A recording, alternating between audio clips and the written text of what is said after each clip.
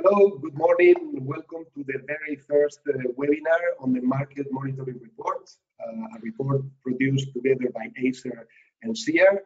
Uh, today we are going to present the key findings on different volumes, uh, electricity wholesale, gas wholesale, and also the, the new energy and retail, energy retail and consumer protection that is uh, putting together what used to be two volumes in the past. Uh, you can send your questions all through the presentations. Uh, first, I will give the floor to, to Christian Zinglersen, the director of ACER, and also the moderator of today's webinar. Through the different presentations, you can write on the chat the questions you have. We will group them through the presentations, and there will be a Q&A session just after the commission interventions, where uh, we will try to solve all your questions on these three volumes that we have been producing um, and explain today. So without further ado, I give the floor to Christian, who will do the initial remarks and moderate the event. Good morning, Christian. Yes, thanks a lot, David, and, and welcome uh, to all those who have chosen to tune in in Europe and possibly beyond Europe uh, for this uh, inaugural webinar of uh, ACER and CEER on our marketing um, on our market monitoring report for this year. Uh, we had the pleasure of uh, briefly presenting some of the main conclusions yesterday uh, for the European Parliament, for the ITRE committee. Uh, we were uh, blessed, so to speak, with a lot of engaged, detailed questions, and we hope we can uh, replicate that also this time obviously benefiting from more time for this webinar uh, than was possible um, in the presentation before the ITRE committee in the parliament. Um, and so we have, I think, uh, roughly 40 minutes actually uh, for the three volumes, uh, gas, electric, gas wholesale, electricity wholesale, and retail markets and consumer protection. David was uh, signaling a little bit how we would go about it. Uh, in a few minutes, uh, we'll kick off, um, go through sort of the main uh, headlines supported by uh, several slides for each of the three volumes, starting with gas wholesale, which uh, Bart Vereecke, who is the team leader um, up until recently for market monitoring on gas, now heads our strategy team at ACER. He will go through.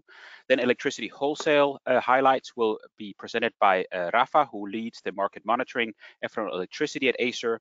And then um, the head of the Swedish National Regulatory uh, Authority, Energimarknadsinspektionen, Anne Nilsson will present the third volume uh, of retail markets and consumer protection. Then we have two colleagues from the European Commission, Florian Ermacora and Jan Panek, who will uh, give their views, their perspectives, if you will, on some of these findings, some of these highlights, how they relate to future EU policy challenges and priorities. They will have uh, roughly 10 minutes for that. And then we have this Q&A round, which David was referring to. Now, don't hold back with posing your questions until the uh, Q&A round. We won't address them until the Q&A round, but feel free to post them uh, in the chat as David was outlining as you have them. We'll try to group them towards the end, maybe take a few on gas, electricity, retail markets in groups, uh, and then we will try to uh, take them at the end. We aim to have roughly 20 minutes for that. That may not be enough to uh, tackle all questions, but we'll seek to uh, go about it as best we can. And then we have Annegret Groebel, who is with the German National Regulatory Authority, uh, Bundesnetzagentur, and president of CEER, who will draw some conclusions and close today's webinar. So that's what you have in store. We aim to uh, let you go, so to speak, unless you let go first, uh, a quarter to 12. Um, and um, hopefully we will have not just an exciting enumeration of highlights for these three volumes uh, this year, but also an opportunity to address uh, some of your uh, questions and comments um, uh, to the extent time allows. With that, uh, David, unless you want to add something here, I would be keen uh, to pass the floor to kick us off to Bart. And Bart, you would take us through some of the key findings on gas wholesale markets um, on our behalf, followed by Rafa subsequently. So I pass you the floor, Bart, uh, to kick us off. Thank you. Yes, thank you, uh, Christian, for this introduction. Uh, I will guide you through uh, the main findings of the gas wholesale piece. Um, of course, you will find more detail in the volume itself. I would also like to tell you that we have a 12-page leaflet summarizing all the points of the full MMR. So um, uh, it's impossible to show everything in such a short time span, but um, I will try to do my best to give you the main thing. So presentation today is unfortunately not complete to discuss a bit uh, uh, the impact of uh, COVID on, uh, among other energy markets. And here for um, gas, we see, of course, demand and prices have uh, decreased. Uh, but interestingly, from the analysis so far, uh, that's only first half of the year, price convergence levels have maintained, so they don't seem to have been impacted, which uh, is a testimony of the fact that um, markets are quite resilient uh, to shocks uh, in the system. Uh, we'll see how it what brings later to us. So if I um, go to the next page um, to kick us off with um, some of the content, uh, I want to really show this page on uh, LNG. So the bars, uh, they show that uh, LNG landings have increased quite dramatically in 2019 and up to first half of 2020. Um, this is very important because LNG as a marginal price setter in Europe for uh, gas supply uh, is now quite core to the price formation in uh, gas markets and is expected to continue. So prices have uh, decreased and of course um, uh, this of, is of course linked to evolutions in the international markets and especially what's happening in uh, East Asia there's an interaction there in landings of LNG, whether they go to Asia or to us. Uh, and that, of course, is price uh, specific. Um, this is important, um, given that we are very dependent on gas that is imported. Uh, this page, uh, this is the most complicated one, uh, but I promise uh, this will be the only one, so don't run away um, shows the supply st status in Europe according to a couple of dimensions. The bubbles are number of sources that a country has where they can get tap into gas. Uh, the horizontal axis is uh, upstream uh, market concentration and on the left it means uh, if you would not take into account a dominant source how well you can still uh, supply. Uh, there has been improvement over the years. Um, you want to be in that uh, blue uh, box that I just uh, indicated. Of course, these are estimates, but uh, the number of countries or markets uh, is increasing over time. So they're already quite a good number. Um, main challenge still is the concentration. So even though overall dependency is decreasing, we still have some concentration challenges. And then if we aggregate at EU level, we see that there has been improvement. Sources, um, also concentration levels have decreased, uh, but there is still some way. But it's a good setting for markets to thrive in already. Of course, as a result, we always like to show this uh, slide because it shows the supply sourcing cost, also estimates, of course. Um, here, uh, the market's prices have been converging over time. Uh, they have dropped quite a lot, as you can see uh, on the top. We take TTF as the benchmark. Uh, the yellow has been expanding a lot. Um, the core thing here is that um, if I uh, look at an annual piece, uh, which 2019 the, the price uh, decreases were quite uh, sudden and quick. And then the more mature markets in northwest europe could tap into that uh, more quickly and others became a bit more bluish again.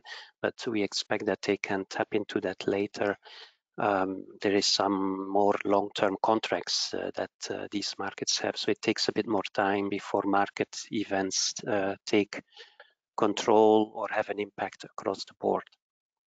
But overall, uh, positive evolution also at hub level. Um, I'm not showing you charts here, but it's uh, the convergence uh, is quite high, especially in Northwest European hubs where uh, up to 90% of the time uh, the delta or the spread is uh, less than one euro per megawatt hour. And then we have some differences across the, the hubs with a bit lower uh, convergence levels, uh, regional differences for various uh, reasons, but it really is also a positive indication, which makes us moving into the next page.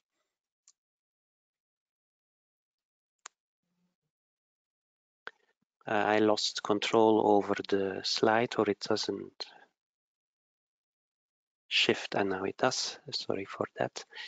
Um, the hubs, the gas hubs, um, we always do a ranking of them based mainly on uh, REMIT uh, data. REMIT is a database where all transactions are being uh, recorded uh, in a confidential matter. So we sanitize this to a large degree and it's based around 10 to 15 metrics. And then we rank, it's of course not uh, uh, pure science, but we see that over time we have more and more uh, more advanced hubs, a couple of well-established ones. There is still, of course, uh, work to be done in terms of improvements. Um, the delta between weaker performance and better performance is actually unfortunately increasing. So it will take some effort to uh, get those hubs, uh, mainly in Southeast Europe, going.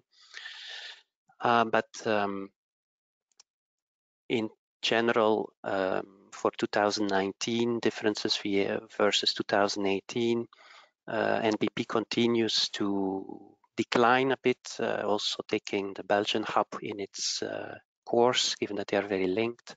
Spain, Hungary, and were very performing well. And in general, all markets went ahead except for some of those that I mentioned.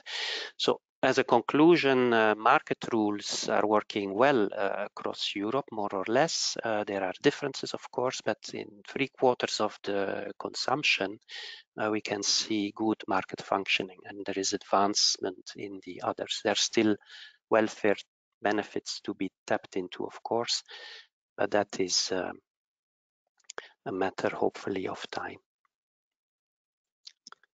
Uh, on the next page, um, I show the network codes. Um,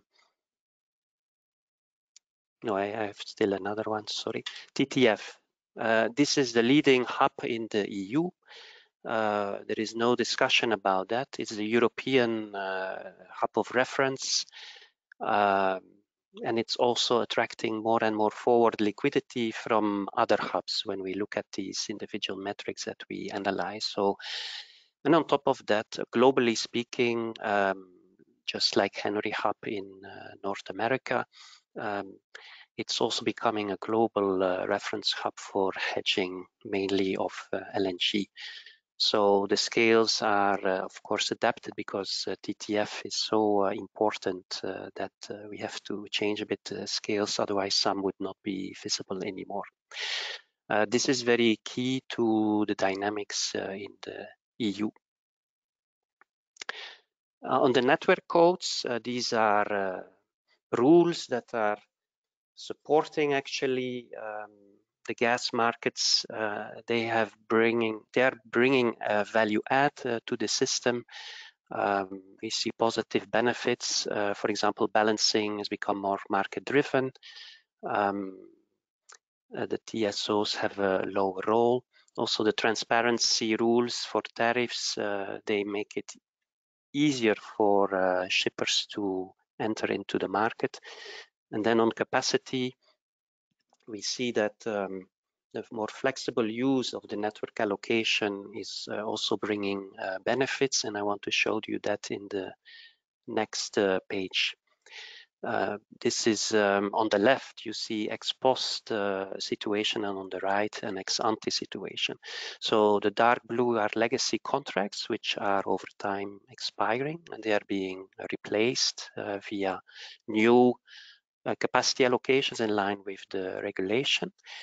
And we see that to a large degree they have been replaced so far remains to be seen if that will be in the future as well.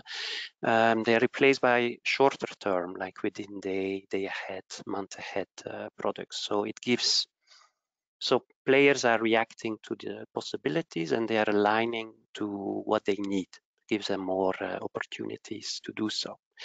On the right, we have analyzed uh, the expiration calendar of the long-term legacy contracts, and you see the way in which they will expire. So by 2028, many will be no longer in place. It remains to be seen to what extent they will be replaced, probably not all. This might raise some questions about uh, stranded assets for uh, TSOs. And we also see that uh, on longer term bookings, so yearly uh, ahead, longer term, uh, we see a larger role of the or an interest of upstreamers. So it's a very interesting analysis uh, to be sharing with you. Now, when we look um, forward uh, in the EU, uh, we are uh, or we have decided to move to a carbon neutral system by 2050. that means also that there is an important task to move to make ga gas carbon free. Um, even though there has been advances over the last decade, as you can see, um, the, uh, the, relative share of consumption is still uh, relatively small. So that means there's still uh, quite some work to be done. Um, prices, of course, of low carbon are not competitive yet, but overall, when we want to move to this uh, more carbon neutral uh, system, we would like to see that uh, the more or less uh, successful system that we have is taken into account or kept to a large extent and that new rules are uh, embedded in that uh, kind of system. So that we you know as the americans say if it ain't broke don't don't fix it there's also a role for hydrogen and then uh, some colleagues of us in infrastructure have made a survey on where we stand so we are only at the beginning 35% um, allow blending. Uh, there are strategies being uh, produced, but uh, we, we, we are still at the start of what could become a bigger thing to reach those targets. Now, this was my last uh, page. Um, I would like to give the floor to Rafa, who will uh, discuss uh, the electricity wholesale status. Thank you. Thank you, Bart. I hope you can hear me well. Um, so I'll, I'll, I'll guide you now through the um, part of electricity wholesale. Um, I'll try to follow a similar structure as Bart. I will start by highlighting some of the most recent developments, in particular in view of uh, the impact of COVID-19. Then I'll highlight some aspects on which we have observed um, more progress over the last few years uh, in particular in 2019. And then I'll move to highlight what are the main remaining challenges before moving to conclusions uh, at, towards the end of the presentation. I'll, I'll try to go to next slide. Yeah. So in terms of uh, the impacts of uh, COVID, um, well, as in gas, uh, COVID has impacted the markets in many different ways. Uh, the most obvious one is um, decrease of demand, um, together with an important shift uh, in the generation mix, and consequently a drop in prices. This drop in prices was at times um, very pronounced. Uh, so it was on average around 30% during the first semester of, uh, of 2020, and in some areas it reached 80%, just to give you an idea of the dimension of the drop, uh, together with the occurrence of some negative prices.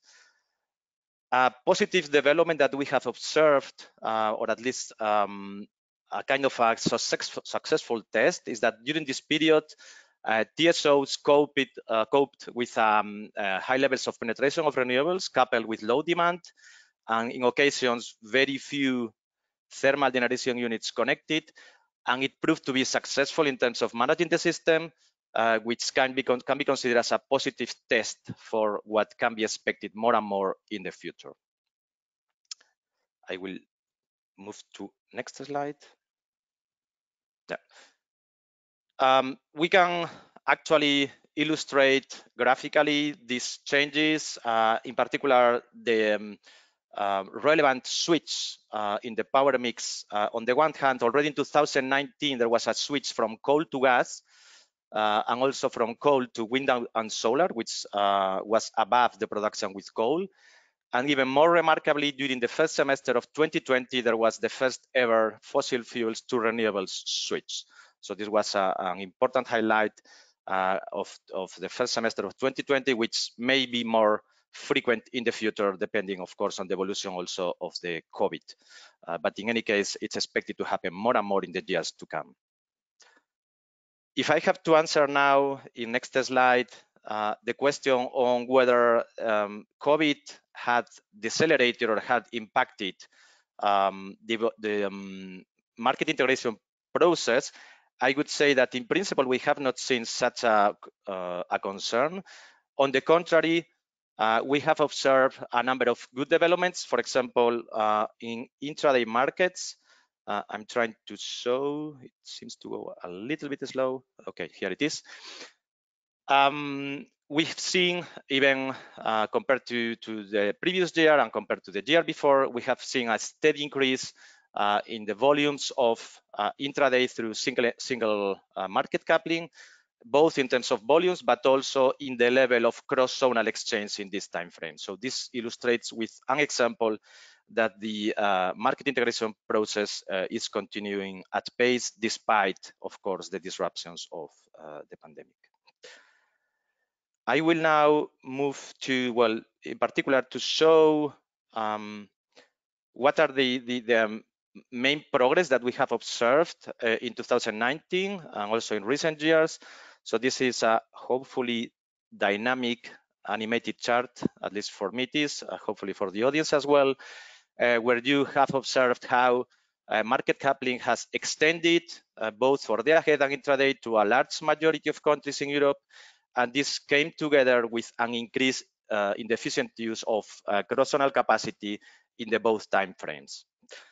Um, in this respect, uh, it is good to make a remark um, that there is a reason for concern with regards to the completion of the ahead market coupling in, part, uh, in particular, given the delays that have been observed in the implementation of flow-based, uh, which uh, mm, has been delayed for a number of uh, in a number of occasions and it's a recurring delay together with the final integration of the coexisting market coupling projects. This is one of the areas of concern that we want to highlight and there is an urgent need to finalize such a project. Hopefully I can apologize for the slight delay. There seems to be a small time lag. Time lag. Uh, so I. Yeah. Um, maybe equally equally relevant, or, or as a summary of um, all all the pre all all what was said in previous slide. Uh, we can illustrate with one single chart what is the actual achievement or the actual level of efficiency in the use of the interconnectors across the different time frames. We track it every year and the chart represents the level of efficient use uh, in the day-ahead, intraday, and balancing. And as mentioned in the slide, uh, while in day-ahead and intraday, uh, there has been significant progress. In balancing, there is still quite significant room for improvement, which is, on the other hand, understandable given that we are still in the early implementation of the balancing time frame and it is expected that with the uh, establishment of the different platforms following the approval of a number of methodologies by the agency, uh, so now TSOs are working on the process to make it happen and to also increase the level of exchange and efficient use of capacity, first to finalize the ahead intraday, but also in the balancing time frame uh, where it is still starting. I would like now to start sharing a number of challenges um, that um, we bring every year um, to the report just to highlight what could be the main barriers or the main aspects that require improvement. A first obvious one that um, um, is well known to, to the audience possibly uh, is the identification of the insufficient uh, cross-zonal capacity uh, leading to set the minimum target of 70% in the clean energy package in this respect, I would like to start first with sort of uh, good uh, uh, an improvement, which uh, is, is, illustrated with this example in, in, Central West Europe. I would spare from the technical details uh, because the, the chart is, is, is a bit uh, technical, but um, in essence, it represents an improvement towards this, the achievement of the 70%, which is still modest, um, but still is a step in the right direction. Uh, it also implies that there is quite still significant room for improvement, but some um, steps taken in this region um, came with, with an improvement. Yeah. Uh, so what is the agency uh, doing uh, with regards to the 70%, even if it is not uh, our remit to uh, ensure the enforcement of the 70% uh, capacity target, we are working intensively uh, uh, to produce a dedicated report on the topic. Uh, it's a complex matter because it requires to analyze massive amount of information, but our intention here is to be able to produce a report which presents a complex matter in a simplified manner, but at the same time given sufficient level of detail for stakeholders, for member states to understand where they are with respect to the 70% fulfillment, uh, which of course can be complemented um, as it cannot be otherwise by other follow-up or uh, monitoring tasks that also NRAs and TSOs do. But uh, um, our, our main added value here probably is to be able to provide a harmonized framework or a harmonized approach to monitoring the 70% uh, target, and we intend to publish a report on this covering the first semester of this year towards towards the end of December. Yeah. Uh, in this context of um, the 70% target, it's always good to remind uh, that in the in light of the clean energy package, member states and TSOs have a portfolio of uh, of instruments, of routes to meet the 70% target. Uh, on the one hand, TSOs can, or member states can apply um, the most obvious or uh, an ongoing, always ongoing solution, which is of course to invest in network. Uh, but this uh, needs to be complemented with other solutions. First, because investments need to be cost efficient, so it cannot be the only solution. Um, then because uh, network investments uh, in occasions, uh, we have seen it in, in the past and still um, now, uh, face uh, certain delays for various reasons. Uh, so TSOs may apply in the short term remedial actions, um, such as redispatching, for example, um, and then Alternatively, they can also improve the configuration of the bidding zones. This is in addition to the possibility envisaged in the clean energy package, uh, as you, as the audience may well know, of certain transitory measures, such as the application of action plans or uh, derogations during a certain period. I'm trying, yeah. Uh, this is just to highlight that the agency is currently involved in most of, or if not all, all this process in different manners, mostly with regards to either monitoring in the case of, of um, projects of common interest or for example, by approving a number of methodologies related to um, cross-border uh, redispatch or um, the methodology to be applied for the bidding zone review process. Um, with regards to these two elements, on the one hand, the um, the application of redispatch.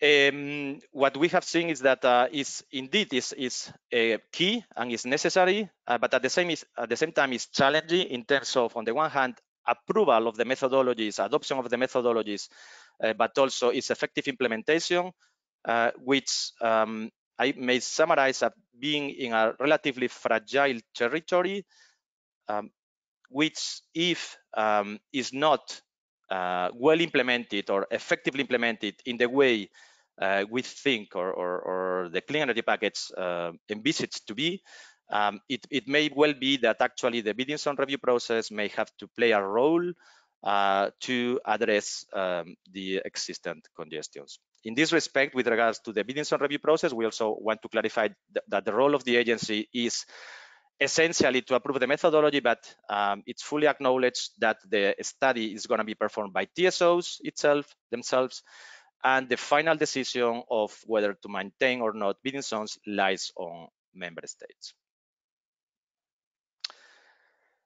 In this respect of, of um, just to bring a little bit of more monitoring to the to the slides, um, uh, in terms of, of the bidding zone review, we, we made an analysis of some of the effects of uh, one of the, um, or, or, the recent split of the formerly um, merged German, Luxembourg, and Austria bidding zone into two bidding zones.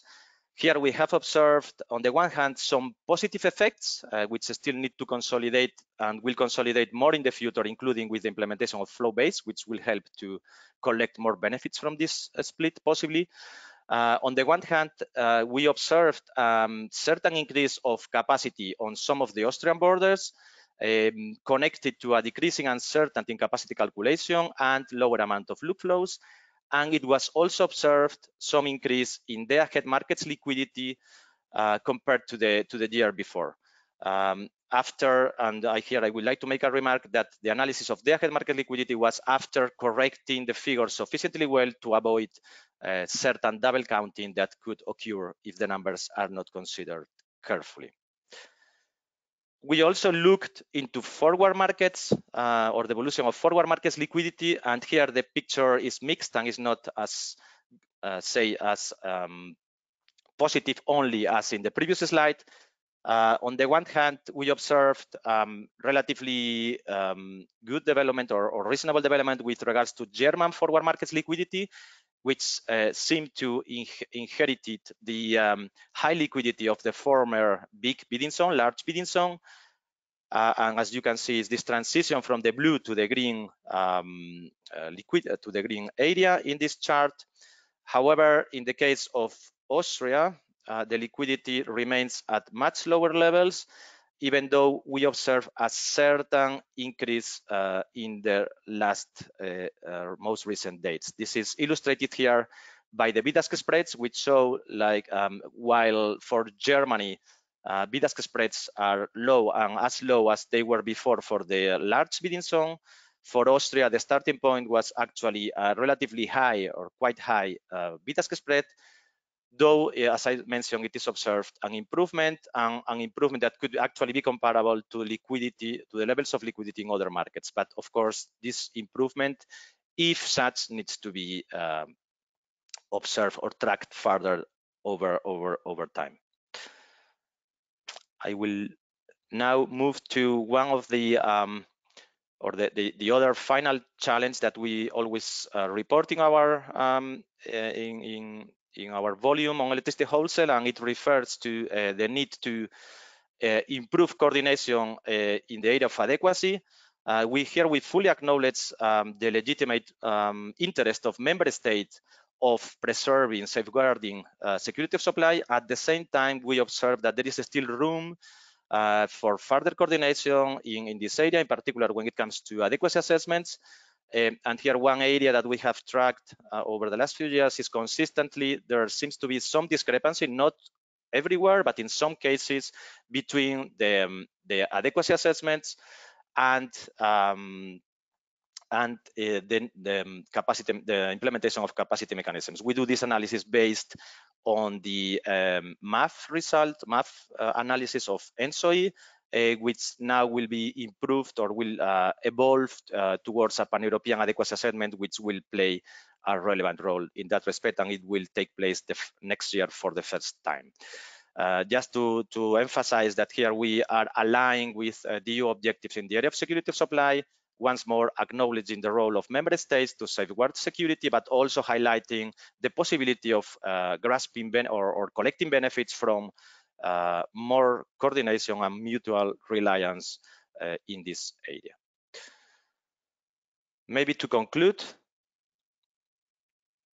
yeah, so um, just a number of high-level uh, conclusions and recommendations. So on the one hand, we um, have seen that um, electricity markets are key for a number of political objectives, including uh, the internal energy market itself, but also the objective of decarbonization at the lowest possible cost.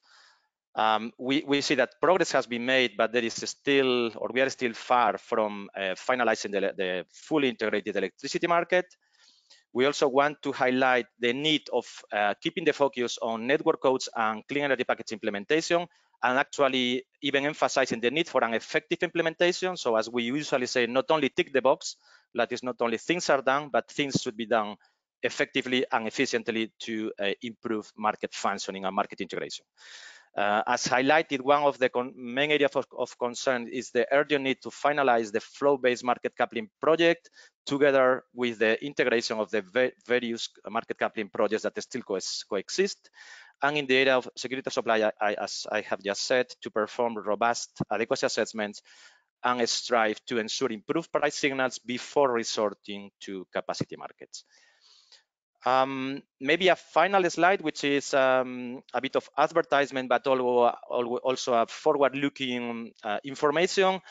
We are working, and this applies in general to all volumes, not only to electricity, but also to gas, and possibly to the retail um, sections, to enlarge the scope of our activities, um, to touch upon uh, other topics that uh, possibly we have not done so thoroughly in the past. Um, first, we, we, we also want to mention, as we, it was already highlighted before, that we'll publish soon a standalone report on the share of cross-zonal capacity um, to, um, towards meeting the 70% target. This will happen in December this year. It will be our first report, followed by regular monitoring on this area. And over time, we um, we intend progressively to incorporate a number of, uh, of new topics uh, that are mostly the reflection on the one hand of aspects that are in the clean energy package, but also uh, the possibility to do more um, horizontal uh, analysis, including relationship between electricity and gas wholesale markets, uh, and also enhancing the retail market monitoring. As I finish with retail market, I think it's an excellent uh, phrase to uh, give the floor to Anne, who will take over for the next part of the slides. Thank you. Uh, thank you, Rafa. Uh, and yes, uh, I'm very pleased to be able to present some of the main findings in the retail uh, and the consumer protection volume. And it's actually the first time we have a consolidated version, both for retail and consumer protection. And I think that's good because this is the two sides of the same coin. And as you have already understand the other volumes as well, of course, this is based on 2019 data. So we don't have uh, yet seen the impact of the clean energy package implementation. There is a lot of new rules coming in there, and we, we don't see the full impact of the COVID-19 either. But uh, just to give you oops, I was a bit too fast. Uh, some uh, findings, at least, we have in the report regarding the, the, the COVID-19 situation. And we see that uh, NRAs have uh, taken some measures uh, to be ordered to both protect consumers, but also, of course, to protect suppliers in this uh, in this crisis. And consumers, that's the focus has mainly been to avoid disconnection and for suppliers of course we don't want them to go bust. So the we there has been measures taken in some uh, member states to mitigate the the, the short uh, term cash flow uh, challenges. But of course we have a very diverse situation throughout europe and we haven't seen uh, sort of the full uh, sort of the, the end of this yet. So so we will continue of course to monitor this Moving in then to electricity and looking at prices, we see um, a large variation of, of, prices throughout Europe. Um, and uh, we have seen, if we speak uh, more generally, we, we have seen both for uh, household consumers, but also for industrial users, we have actually seen a slight increase in prices uh, compared to last uh, to, to 2018. But there is a a big uh, difference throughout Europe. Uh, for households, for example, we have the highest prices in Germany, 28.8 euro cents per kilowatt hour. Um, and that's a big difference compared to Bulgaria, where households consumers only pay 9.8 euro cents per kilowatt hours. And we have even greater variation if we look at the industrial market. Um, on average, uh, industrial consumers pay the most in Denmark, 22 uh, 0.2 euro cents per kilowatt hour uh, compared to Luxembourg where it was the cheapest 4.9 euro cents per kilowatt hour. And we also have uh, the energy contracting parties uh, in the report. I didn't say that, but we also have here some uh, comparison uh, in relation to them.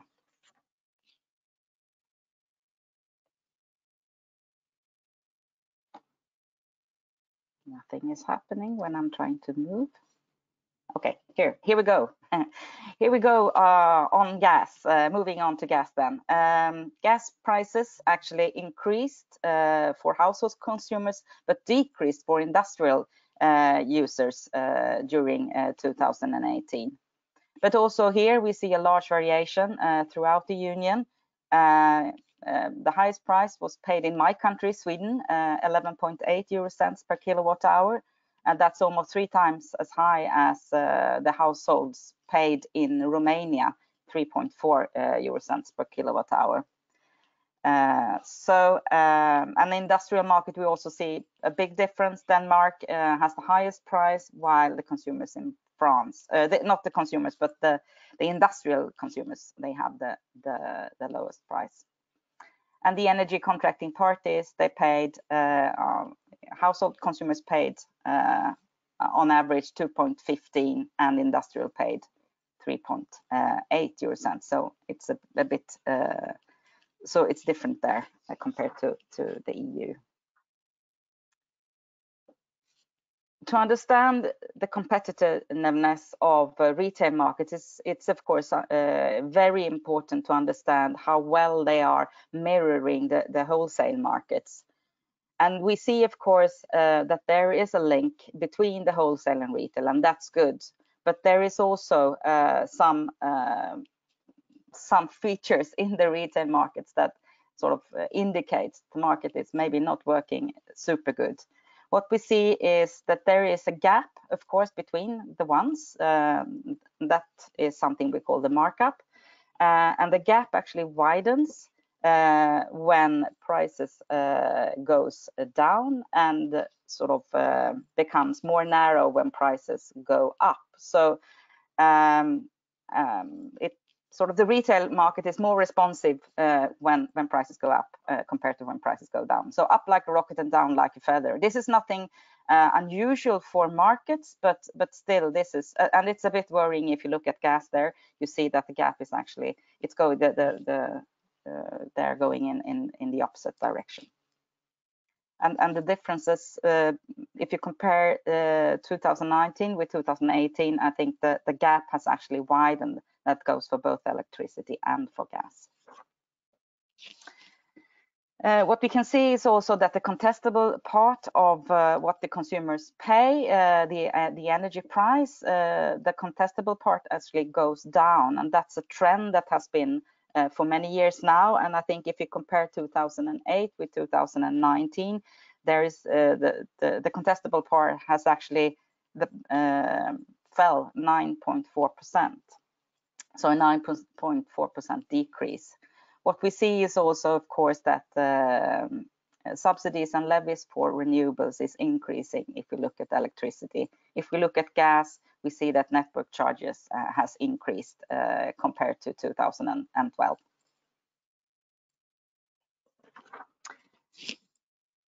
The bill is, of course, an important vehicle for consumers, uh, not only to be able to, to find out what they have to pay, but also to have, get other information. And here you see um, uh, that there is a large uh, amount of information in the bills in Europe. Uh, this differs, of course, a lot. Uh, billing cycles differ, but also what's in the bill actually differs. Um, but it's, it is, of course, important here that as the, the bill is a, um, a, tool for the customers in order to find out if they can gain something to, for example, change supplier, it is important that uh, it, they are they are not overwhelming consumers, that consumers can make good use of, of the information. And it would be, of course, interesting to follow the implementation of the clean energy package here. We see have data for next year, and we have uh, much more rules on bills in in the clean energy package. So um, moving on to sort of retail market functioning, and it's a bit disappointing. I think that overall we can say that the markets are not developing uh, fast enough or towards more well-functioning markets fast enough. Um, we have uh, some, um, though still we have some some sort of good signs. Uh, the number of the average number of nation, nationwide suppliers actually increased in 2019, and this has been the trend now for some years, but it, it is uh, going quite slow. Um, market concentration levels also have improved, but but slowly, and of course it differs a lot also here. Uh, some um, uh, member states have very high concentration uh, ratios, while others have quite a lot of suppliers and, and quite good sort of um, quite well functioning and, and quite good com competitive pressure uh, on the resale market. And of course, uh, price intervention is something that um, that uh, that um, uh, is hampering uh, both participation of customers, but, but, of course also it creates barriers to entry. And of course, if uh, we have price interventions that goes below cost, that creates a huge uh, hurdle. Um, and in those member states, we don't see any any movement uh, when it comes to new newcomers entering into the market. Of course, here uh, in relation to to the price interventions, we will, of course, will be interesting to monitor the impact of the clean energy package.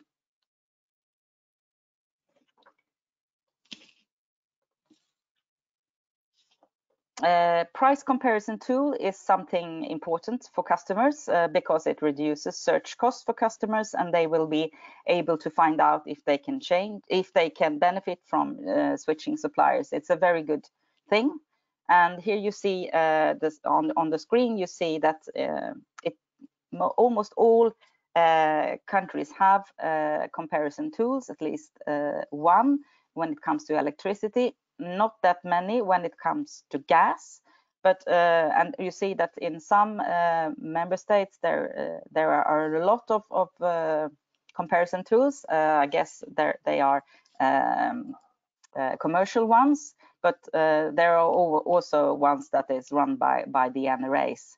So this is an area, uh, of course, that we will follow uh, also in the future. There are new rules also uh, in the clean energy package here as well.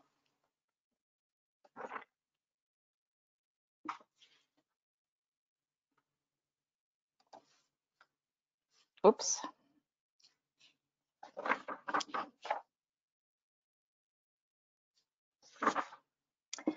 Uh, so uh, smart meter rollout uh, is, of course, uh, something very important. Uh, not, uh, it's important if you want to know how much you consume, but of course also if you are want to move into the next step, uh, being able to uh, become more uh, even more active than just changing suppliers, moving into areas as maybe responding to dynamic pricing uh, hour by hour or uh, a demand side response scheme or or be, becoming a prosumer. Here the, the the smart meter is a key.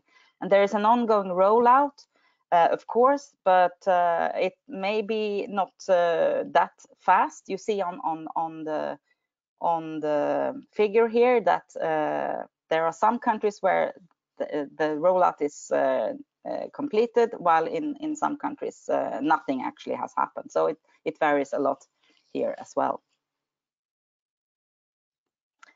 Uh, it's of course important that uh, consumers can uh, be protected uh, and not be disconnected and here we see we don't see any big movement compared to uh, to last uh, year. We measured 2018 um, but um, energy poverty is, is, of course a problem in in some member states and and not very many countries have uh, have actually defined this officially so we will see of course here also with new rules what will happen um, and also, of course, uh, the COVID crisis and, and, the impact here is, uh, uh, is, is will also be interesting to follow. But but for 2019, we we have the um, pretty much the same data and, and the same numbers of, of disconnection as as uh, previous year.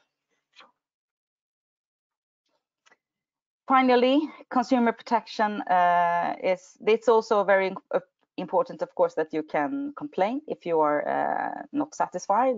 Uh, and and uh, European consumers file a lot of complaints, uh, of course, to their suppliers and to the DSOs. Not so many are registered by the NRAs or by, by the uh, ombudsman or alternate uh, dispute resolution mechanisms. But uh, if if still have some data and you can see that uh, the, the one the number one is complaining uh, about your uh, bill or your invoice and the second uh, most common is uh, complaining about metering. So that was all uh, from the retail side but i'm of course happy to take any questions in the Q&A session. Thank you Thank you very much, uh, Anne, and indeed uh, also thanks to Bart and Rafa for going, taking us through the uh, through the the three different volumes: electricity wholesale, uh, well, gas wholesale, electricity wholesale, and retail and consumer protection. Um, we have uh, the pleasure of uh, Florian and Jan from the European Commission who would try to put uh, some of these findings and highlights into the perspective of, of future EU policy priorities. I think we have accorded you um, roughly 10 minutes for that. I, I, if you can just uh, maybe not use all 10 minutes uh, if, possible, so we have a bit of time for the Q&A, uh, but I would start by passing the floor to you, Florian, and then subsequently to Jan after you. Over to you.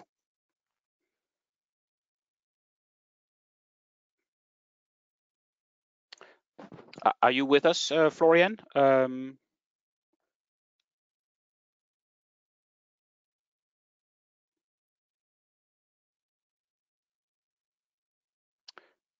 maybe I'll just ask you, David, uh, do you have a connection with Florian or Jan? We can also start with Jan if, if Florian is facing a few connection problems, maybe. Uh, I don't I don't see them in the system. Apparently, they haven't been able to join. Aha. Yet. Okay, right. Then uh, while we wait, uh, maybe if we start uh, tackling some of the questions, uh, David, if you would reach out in the meantime to Florian and Jan and just to check um, uh, the technical availability, so to speak, uh, of the two. Um, yes. um, um, then I would maybe we can we can start a bit, um, and I would maybe um, we have a, a number of, of questions posed uh, via um, the chat option, and I would be suggesting that um, we we uh, I try to group them a little bit in terms of subject matter, um, and I think there were at least two questions which revolved around sort of the, the COVID-19 situation and this fairly unprecedented set of circumstances impacting all walks of life, uh, including uh, energy markets in Europe. Uh, there was a question about um, uh, I think negative prices uh, experienced quite significantly uh, across Europe and, and even more so in certain jurisdictions. Maybe Rafa, you could tackle that. That was, I think, posed by Yannick uh, Fulpin, and uh, I think he was referring then also to um, uh, some generators uh, bidding into the market uh, at, at, prices below their costs uh, because of subsidies. Maybe this is a reference to capacity markets in place. Maybe Rafa, you could try to tackle that. And then there was a question, I think it was the eighth question posed, um, which concerned uh, this issue of a switch from coal uh, to renewables, or at least from coal to, to lower carbon uh, sources, and whether that uh, was linked to ETS prices uh, or perhaps the rapid drop in demand with zero marginal cost being, uh, shall we say, preferential in the market or what. And maybe Bart, if you would have a go at that, we could do that as the first round, and then we could tackle the next round of questions uh, which I, I, there were a few some quite specific slide questions, which maybe Rafa uh, you could pick up, but I'll introduce them in a second. Would that be okay, Rafa? You start, and then Bart, uh, you could uh, take the, the next question. Over to you. Okay, um, thank you, Christian. Um, maybe you have to repeat me the second question, but from the first one that I um, I, I, will start with um, the question on, on um, negative prices. So a, priori, the way we see um, is that in itself, negative prices is just a reflection of, of market fundamentals being reflected in, in prices. Um, and the same as, um, well, there is an advocate in general in the clean energy package to allow for prices to reflect the scarcity um, at times of um, for example, very tight margins of generation. This is in a way the converse or the reverse situation when you have uh, very little demand and you have a high infeed of, of renewables. In that respect, is not in itself or per se is not a sign of bad functioning or ill functioning. what is true, and I think that this is um, about uh, how the question comes about, is that if, if this is sustained over, over the long run without um, some changes, for example, in the subsidies schemes or the subsidy schemes do not adapt to new realities to make renewables more integrated in the market, this may become a problem. I think that this is where the clean energy package put some emphasis in trying to seek uh, renewable schemes which uh, make those effects to appear less and less, eventually incentivizing to renewables uh, to reduce and, and as any other generator um, they're in feed at times of negative prices not to worsen the situation. In that respect, we also would see it as good. But as a general principle, we uh, wouldn't see like negative prices like uh, something negative in itself. It's more like the long term if there are no, it's not accompanied by other measures. I, I think that there was um second maybe, maybe uh, uh, Christian, would you be able yes. to yeah, yeah to repeat yeah, the, yeah. the second question for me? Yep. Yes, thanks, Rafa. I think I would suggest that maybe Bart, uh, if Oh, yeah. you would be okay with trying to tackle that. It was around this switch from coal to renewable, to some extent also from coal to gas, and whether the ETS pricing was a main driver or perhaps other market dynamics. I don't know if you want to have a go with that, uh, Bart. And then I understand from David uh, offline that at least Jan from the Commission uh, is here. And then maybe after you answer the question, Bart, or try to, to address the question, we could pass the floor uh, to Jan to see, possibly supplemented by Florian. Otherwise, Jan will do the Commission's talking uh, in uh, its entirety. Over to you, uh, Bart. Yeah, the question was whether we can link the switch between coal-based generation to ETS prices and what level uh, was this uh, switch the price. So, well, the prices have gone up um, to more than 20, probably also a result of the market stability reserve, which cuts the oversupply. Uh, this was or is to the benefit of the of gas generation. Uh, we have not analyzed what the actual uh, threshold is. So what I, mean, for sure, from 20 euro per ton, uh, that will be already putting things in motion. But we we have to be aware that there are uh, many factors uh, at play. No, so it's very it's market specific. Uh, it's also a question on the fuel prices. Uh, for example, gas prices went down, so that helped, of course, in terms of uh, the dark spread uh, uh, the clean uh, spark spread. So the CCGT profitability being better as opposed to coal profitability is also a question of the Uh, efficiency of the individual power plants. So uh, I wouldn't be saying this is the X euro, but uh, for sure uh, there's been a positive uh, influence. and in, for example, Germany, it's still also the thermal plants that set the price, even though there's already a lot of renewables. I think that would be my answer to this question. Thank you.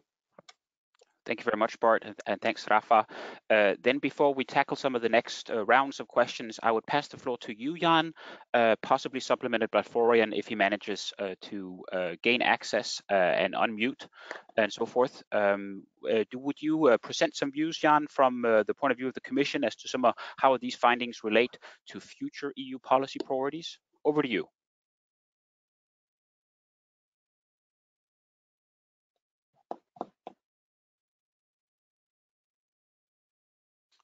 Jan, I can't I can't actually hear you. Um, I wonder, David, are they unmuted? Uh, is Jan unmuted?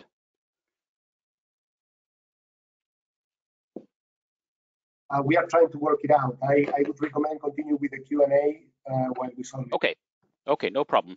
Why don't we say we continue with the with the Q&A and, and you let me know offline uh, whether Jan and, and Florian or Florian uh, are um, um, able to participate. Would that be all right?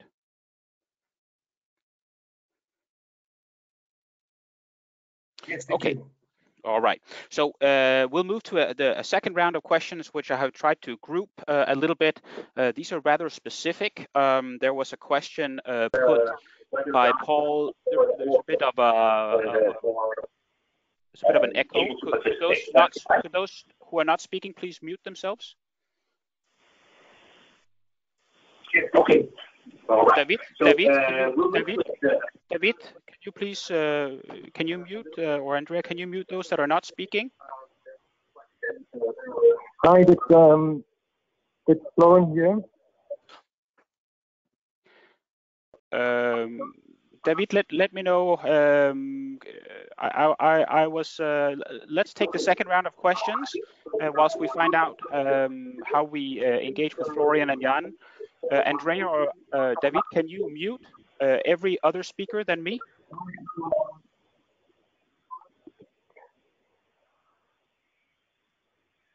Okay. Um, why don't we take the second round of questions? Um, so there are some specific questions uh, as to uh, some of the slides. Um, Rafa, maybe you can see whether you can address uh, some of them. Um, there was one, uh, I think, uh, which reversed sort of the, the um, shall we say, the difference between availability margin and margin available for cross-zonal trade, which was one of the things that you were mentioning.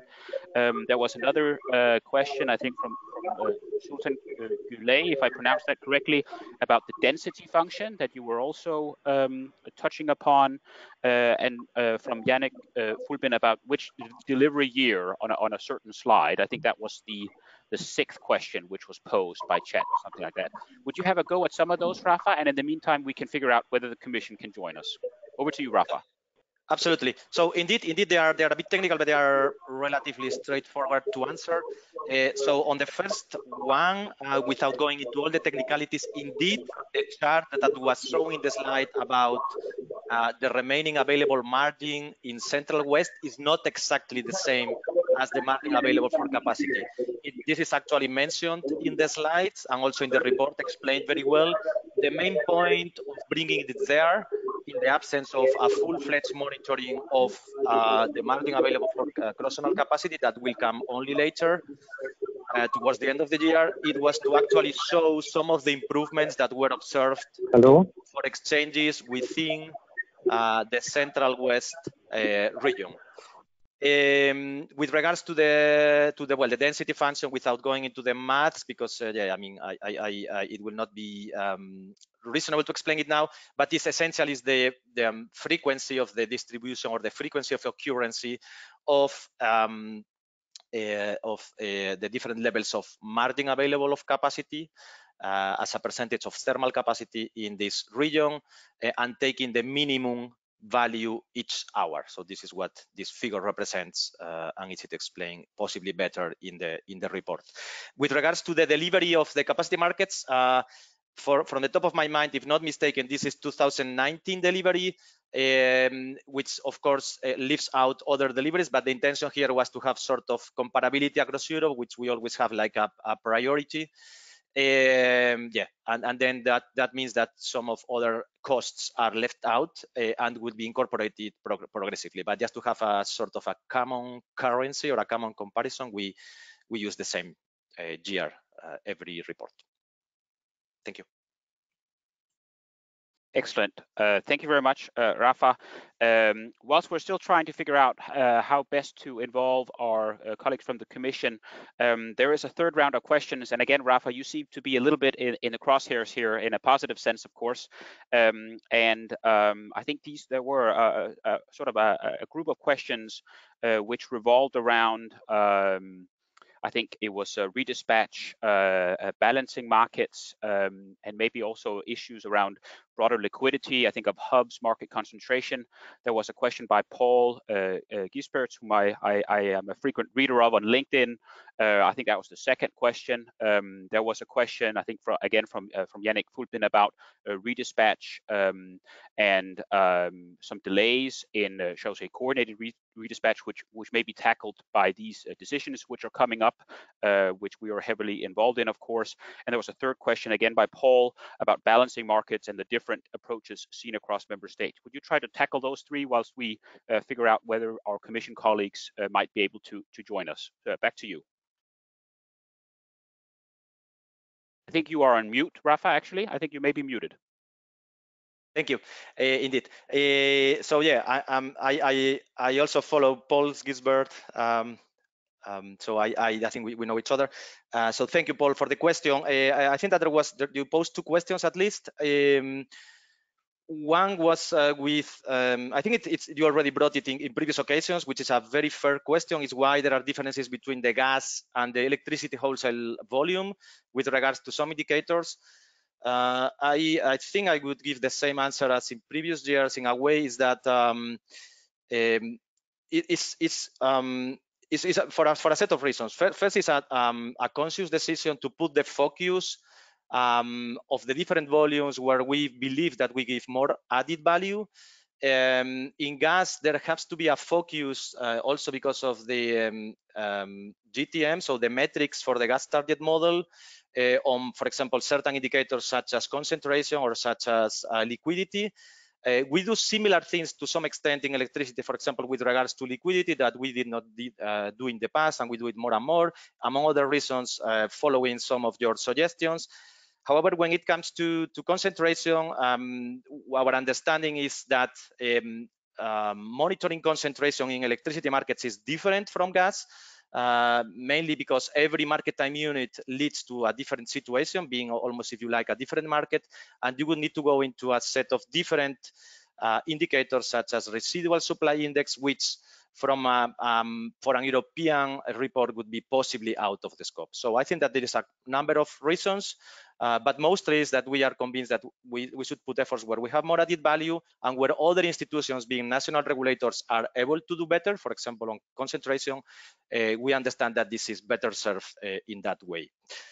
You also mentioned about balancing. Uh, there is there is um, it's not that we have a full-fledged report on balancing, but we, we do have a chapter dedicated to balancing. It mostly refers to the, I think that there is an echo, well, not an echo. David, I, I think can, can I can I maybe ask uh, Andrea, uh, David, please to mute everyone except Rafa? It's not that we have a full-fledged report on balancing. Hi, I think someone is connected. Yes.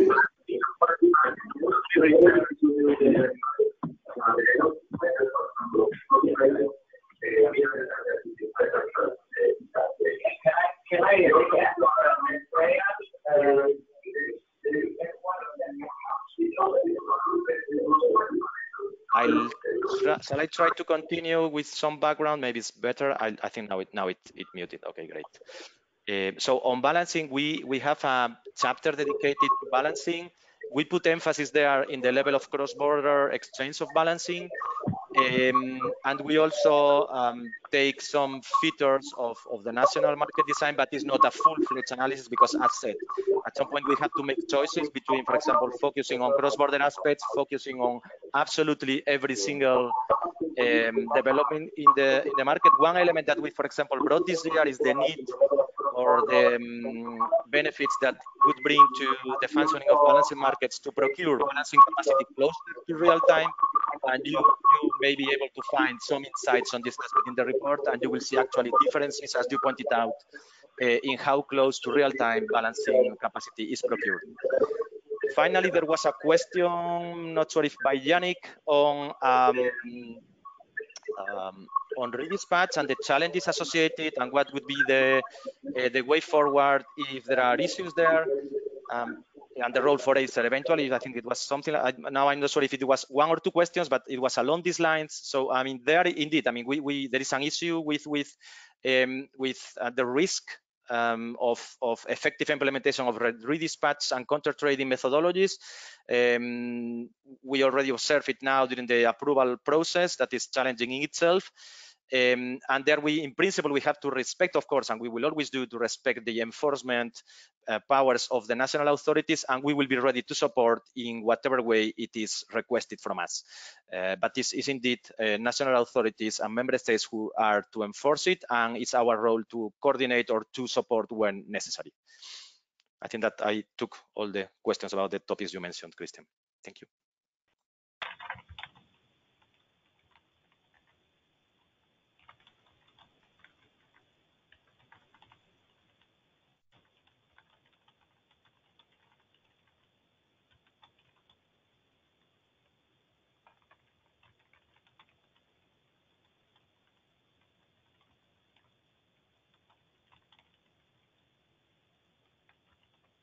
Okay, excellent. I am now unmuted. Um, I think given the, some of the technical problems, I think we will have to um, perhaps do without the, the input from our colleagues from the European Commission. We still have a number of, uh, of questions which we would like to tackle in the remaining uh, time. Um, there was a, a, a, group of questions, uh, I think, um, focused a bit on, on retail. And I wonder, uh, Anne, if you might have a go uh, at a question from uh, Francisco de uh, Boya Artes about smart meter rollout, and there may still be a question, which was number 12, and I think there was a question number 11 uh, about some of the key numbers about cost that may have been resolved in a bit of the subsequent back and forth on chat. If you would take that, and then maybe afterwards, uh, I'd pass the floor to you, Bart, uh, for uh, some questions uh, on gas. Uh, there was a question, I think, on long-term capacity contracts, and another um, uh, question about the role of upstream uh, upstream producers for some of the developments in wholesale gas that you were alluding to. But we would take that, I think, as as a as a as another round after Anne has had a chance to come in. Would that be all right, Anne? Yes, thank you, Christian. Um, uh, when it comes to the smart meter, uh, I think that uh, we don't have, uh, we can't confuse what is coming and what is or uh, in the directive at the moment. Sort of the the clean energy package and and the directive that uh, that was the one before. So there are, um, of course, rules. in the directive, in the clean energy package, that if sort of a systematic deployment should be under um, a cost benefit analysis. So if that one is negative, you don't have to deploy systematically. Although there are other rules in the clean energy package saying that if you as a customer would like to have a smart meter, you can actually have that on demand, although the sort of the more systematic uh, evaluation shows that uh, there is a negative cost benefit. And of course, if you are going to enter into a, a dynamic price contract, you need that type of meter. So um, my personal hope is that this uh, accelerates a bit and that many countries actually, um, the, the, old meters have come to their life uh, expectancy and, and that, that there will be a positive uh, cost benefit analysis because consumers need smart meters actually to be an integrated party in the market. Hope that was uh, answer to the question. I think there was another question in related to the contestable part. I don't. I think the the word price was a bit misleading. It should be the costs, and it it actually that slide showed the difference between uh, the the sort of the, the the percentage between the different components uh, on the energy bill. Indeed. Thank you very much. Uh, and now we, we turn our attention briefly, I think, to gas. There were a few questions there, Bart, if you would uh, wish to pick them up, please.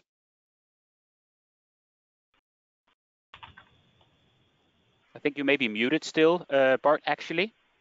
We'll just wait a second for uh, David and Andrea to unmute you. Yeah, okay, thank you. Uh, the first question on uh, wholesale gas markets was mentioned uh, the role of upstreamers uh, is higher in longer term capacity bookings to expand on this point. So um, here it's true that uh, upstreamers uh, are more active. Uh, let's take a step back. Uh, it's because the midstreamers are less active for these longer term uh, capacity bookings. So um, uh, they want to take less risk and try to focus more on the shorter term. And the upstreamers, we see a lot of activity on selected lines or, or, pipes better. Um, for us, potentially in the future is the question uh, of future concentration uh, uh, levels, but they are taking over the role of the midstreamers. And then on the other question, which was um, what is your expectation when most long-term contracts expire and impact on tariff pancaking and cross-border trade uh, uh, in gas? Yeah, so here uh, it's a bit uh, maybe a more complicated uh, question. Um, when long-term uh, contracts expire, they free up uh, capacity uh, that when it's booked, as opposed to what we have in terms of legacy contracts, it makes it more efficient in terms of booking. However, the current uh, system where you could bid uh, along short-run marginal uh, costs uh, will be less and less uh, involved then. So this is a, a, mechanism or a thing that helps also to in the convergence of prices, but over time this may reduce. So the impact there could be depending on markets where it functions well. Uh, we think that convergence will uh, remain. On others, the spread could uh, potentially increase again. Um, yeah, so that depends on the location then whether the whether there will be a bit more tariff pancaking than uh, what is now the case in terms of what you uh, are asking on the uh, pancaking question. So more efficient bookings with uh, less uh, legacy contracts, uh, older systems of market ways of doing will decrease. The impact is quite specific to markets and even pipes. Um, we will need to see what happens. Okay, that's my contribution. Next to over to you, Christian. Thanks.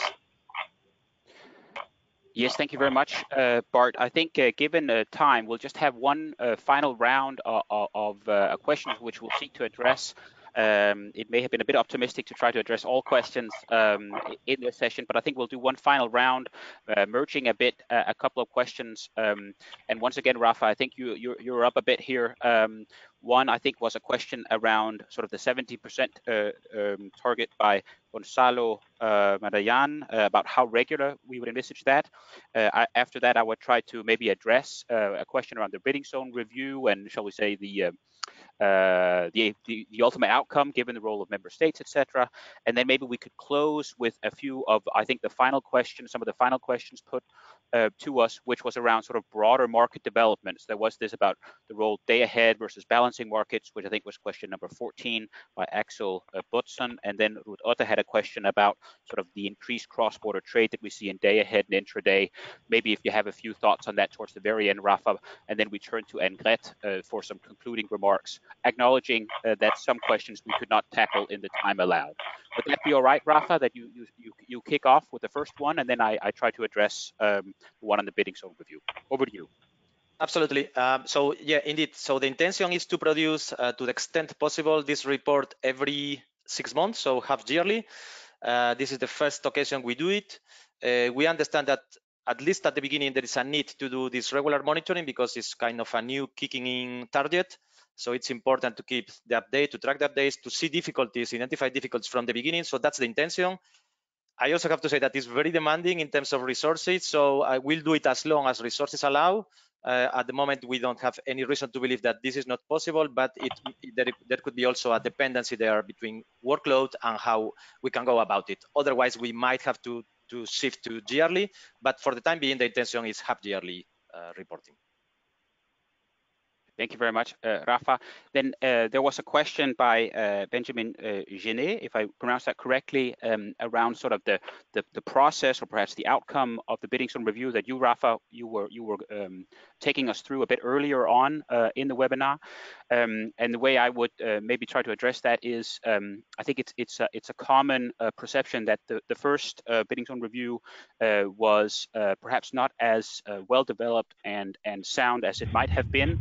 And so our approach for uh, this bidding zone review is to have as uh, technically sound, um, well-developed uh, review process as possible, uh, knowing that that will probably also be uh, necessary in order for member states as the ultimate deciders to um, to to really really thorough uh, thoroughly evaluate uh, the different options for the bidding zone configurations.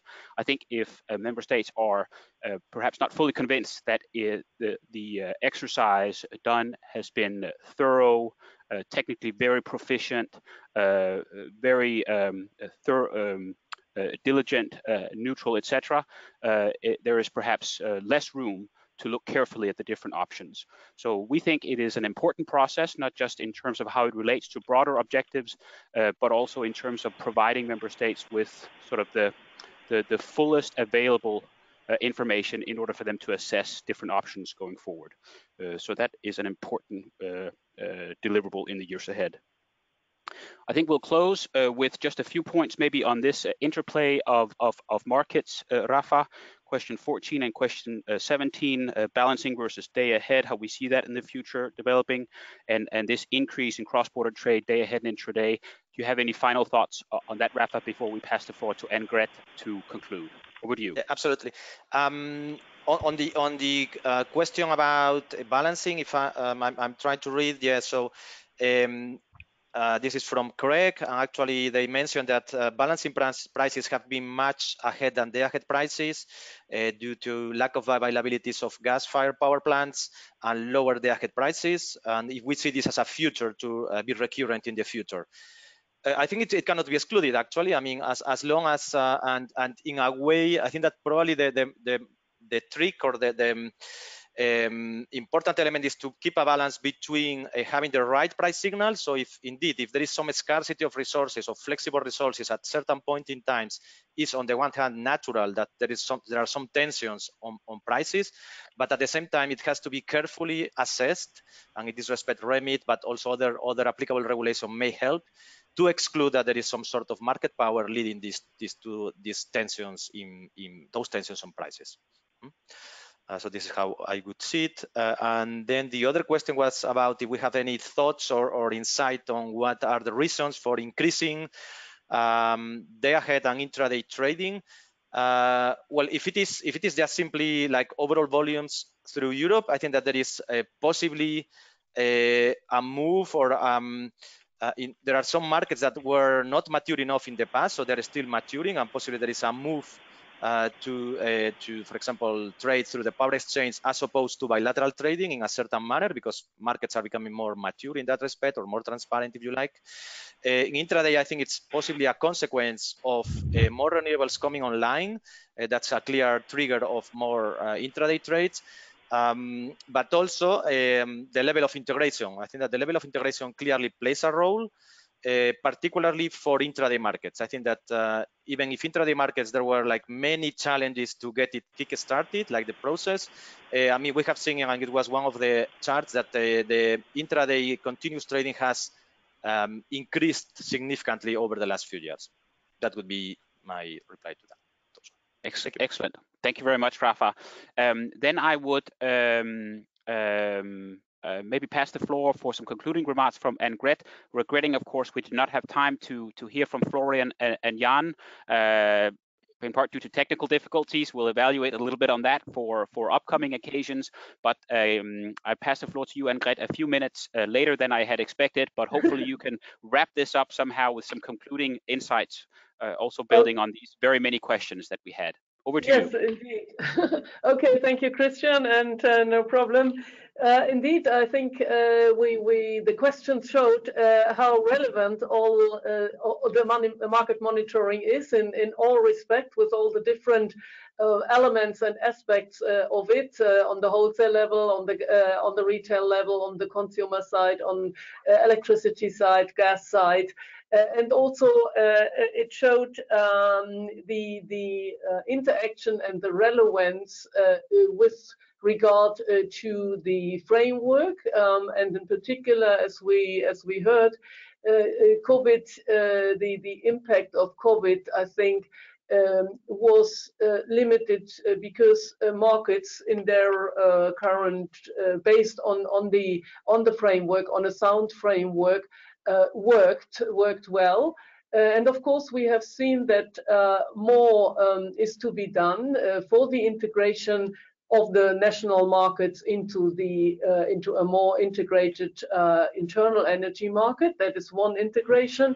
The second integration surely is uh, increasing uh, share of uh, renewables to be integrated um, uh, at, in, in, a, in, an efficient way and in the grid as well as in the markets. And it was mentioned several times that we see that prices are reacting, which is a good sign. Of course, negative uh, prices uh, indicate that there is abundance, and that was a, a consequence uh, of uh, the um, decrease in demand uh, during COVID times. But however, that is and and that also then had implications on the other market side. The share of renewables increased. so I think again the, the market is functioning but we also see that uh, the instruments uh, laid out in the clean energy package uh, need to kick in to ensure that uh, the mechanisms uh, become uh, better and the barriers that still exist um, are reduced. With this, I come to the, let's say, third integration, that is the integration of an active co consumer in the market, in the retail market, uh, but also, let's say, in more, speaking more broad, broadly in the system, uh, to ensure that we that we are not seeing anymore this, um, let's say, split uh, or between wholesale market developments, where we see the development is, is working well as it should, uh, also with the implementation of network codes, etc., etc., market coupling, uh, albeit still still to, to, we have still to go uh, away. Um, but the, not all the benefits of this uh, positive developments are trickling down uh, to or are passed through uh, to, to consumers. And that is something which is of concern, as Anne has pointed out, uh, where hopefully the instruments of the clean energy package with regard to uh, consumers and retail market becoming more powerful, becoming more uh, active, being more integrated into the system will uh, not only have positive effects for the system as a whole, but, but will of course hopefully also uh, bring benefits to the consumers from the energy uh, transition. And I think that is something that we have to see as a whole system approach, so to speak, uh, to ensure that consumers buy in uh, because they see the benefits of, of, for example, becoming more active when we have uh, the uh, let's say the the technology like more smart meters etc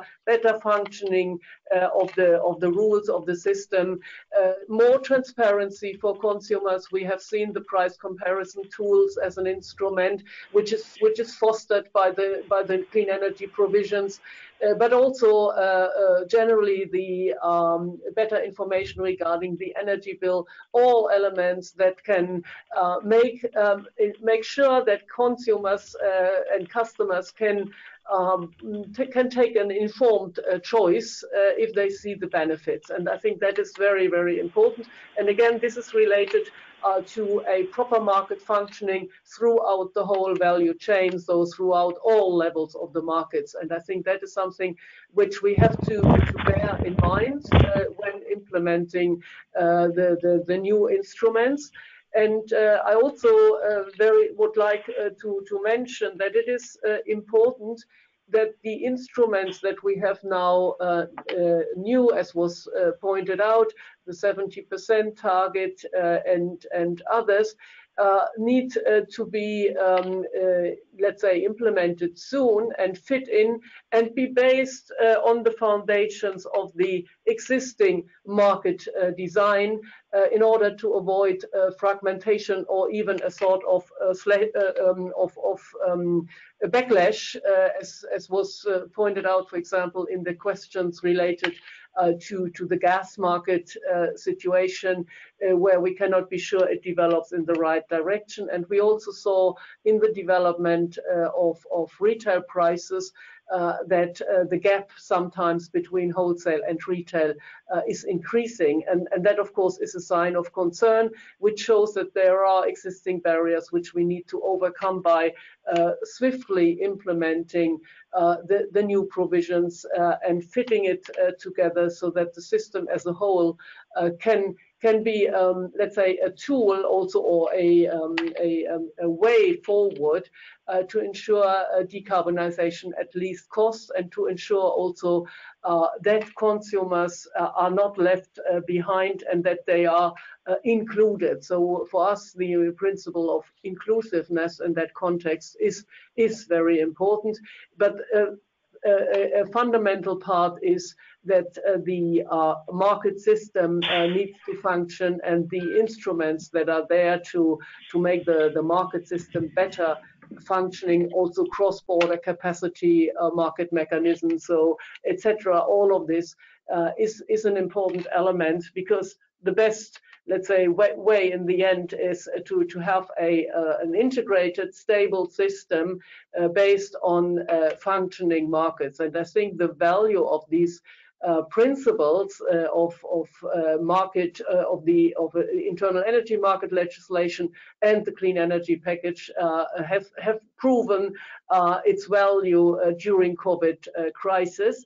and I think we need now to look ahead uh, with regard, and that was mentioned as well, uh, to the uh, further development uh, of the TEN-E uh, regulation, uh, looking at energy efficient investment, infra infrastructure investment, sorry, and of course also, let's say, ensuring that there are sustainable and green projects of common interest. So linking it with uh, the overall objectives uh, of uh, the Commission of uh, a, a, decarbonization at least cost uh, that of course also relates to, to the gas side. Uh, plus, of course, let's say overall the objective uh, of uh, becoming climate neutral, carbon neutral by 2050, and now um, let's say also increasing the the, car, the, the, the, climate targets uh, as proposed. And we are aware we i think we should and that may be the, the last concluding sentence we as regulators uh, should be aware uh, that this is absolutely necessary, but that of course tightening up of the of the targets here uh, requires uh, more um, more efforts uh, from all of us. So from uh, energy uh, operators, generators, and regulators, and of course also the the broader politics to ensure it works together and we we can let's say make jointly uh, this, this effort to ensure uh, that the energy transition and the transition towards a, a climate and carbon neutral